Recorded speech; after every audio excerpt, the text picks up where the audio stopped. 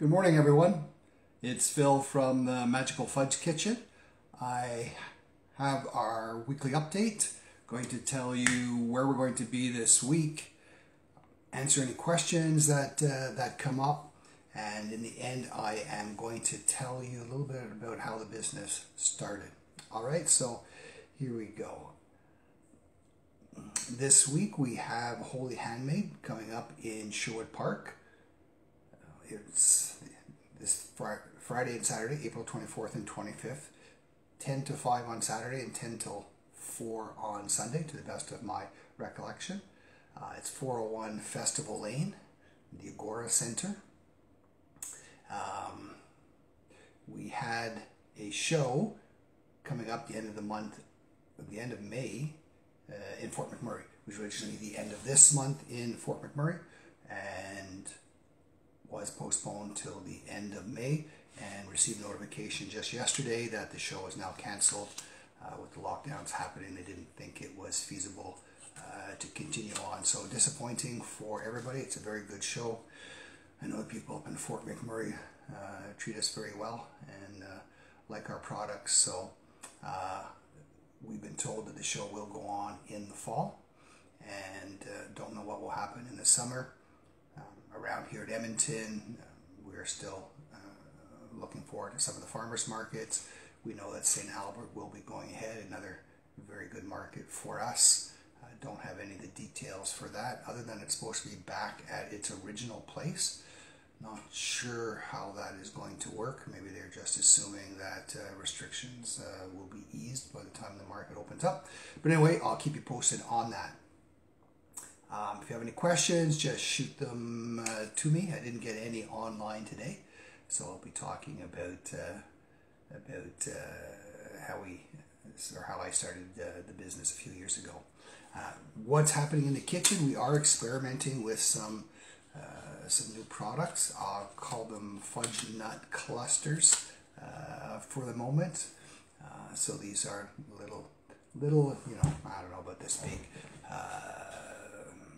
of uh, pecans and caramel and fudge and uh, different kind of toppings. Uh, I tried a few of them uh, yesterday and uh, they were very yummy. So we have to think about how we might sell them, how we would package them, how we would price them. I'll have my friends try them out, give me some feedback on the different concoctions that, uh, that we come up with. But we were having fun yesterday, and and uh, look forward uh, to maybe bringing out. There's other things that we are uh, talking about that we might be doing, um, but this is just one of the, the things that's going on in the kitchen right now. No questions. Hi everybody who's uh, who's watching.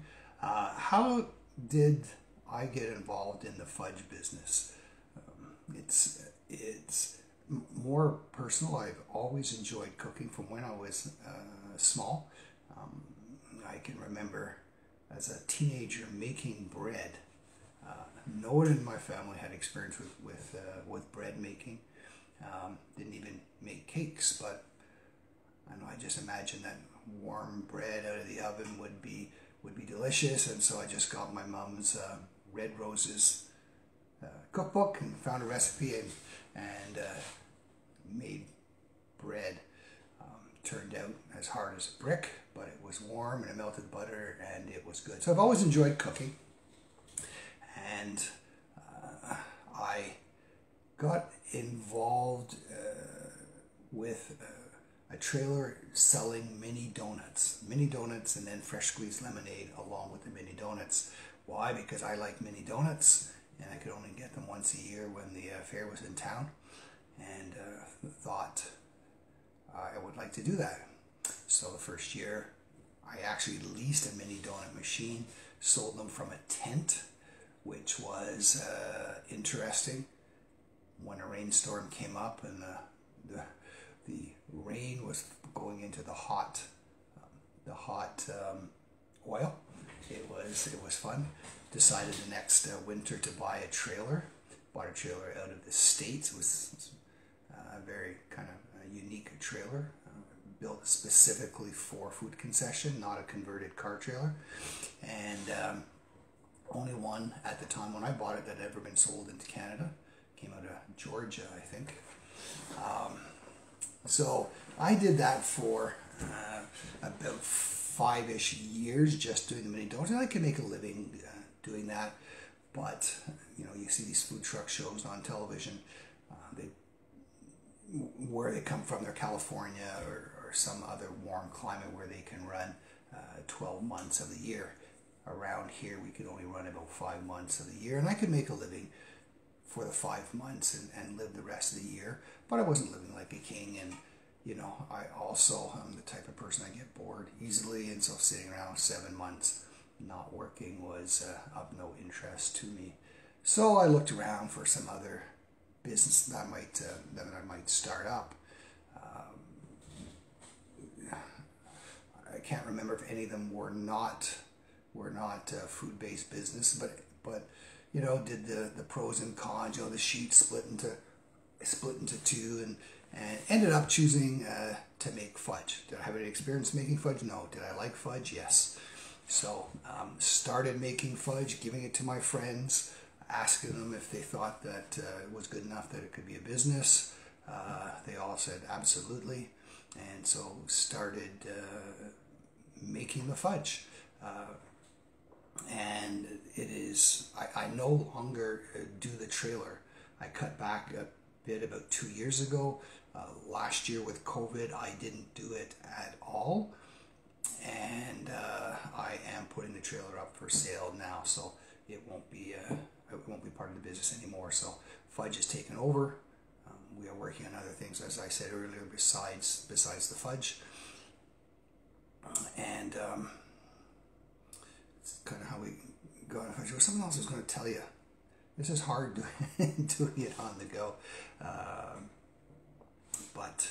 Uh, oh, farmers market. So we started selling the fudge in farmers markets. Uh, that's you know where we first uh, started uh, doing it. First few years, um, it went very well. Again, farmers markets end after go five or six months. We were doing trade shows as well, and they were they were year round. Particularly leading up to Christmas was a good time of year for uh, for the the trade shows. Um, and then eventually decided that uh, selling online so, you know, built the website and got the pictures and all the descriptions and stuff. And it was a slow start, uh, and it's been growing and growing, and, and the growth has been accelerating. So, um, it's really kept us in business uh, during COVID. All the trade shows, or most of the trade shows, farmers markets, have all been shut down. Um, and so it's been a big part of the business. We also wholesale it. We wholesale it to uh, Loblaws. And uh, no Frills is uh, part of the Loblaws change. We do that, and independent grocers, and we are working with them and looking for other you know major uh, major suppliers or major retailers that we can wholesale to. We do a lot of small uh, retail shops uh, across the country, um, adding more all the time, and so that that's helped our our, our business uh, absolutely for sure we have, as I said, other growth plans. But that's how I got into the business. Uh, started small, um, many doing things that basically I enjoy doing. Um, you know, people have said that uh, you know if you do what you enjoy, it, it'll be successful. So it's it's kind of worked out for for us as well. Um, farmers markets, trade shows, online sales, wholesale. Uh, we do fundraising as well, of course. I've mentioned that before. So that's about it for this year, uh, this week. I do plan to be back next week. Uh, hope you enjoy these updates, and if you have any questions, uh, fire them along to me, and um, I'll be happy to uh, to answer them. All right, until next week. See you guys. Take care.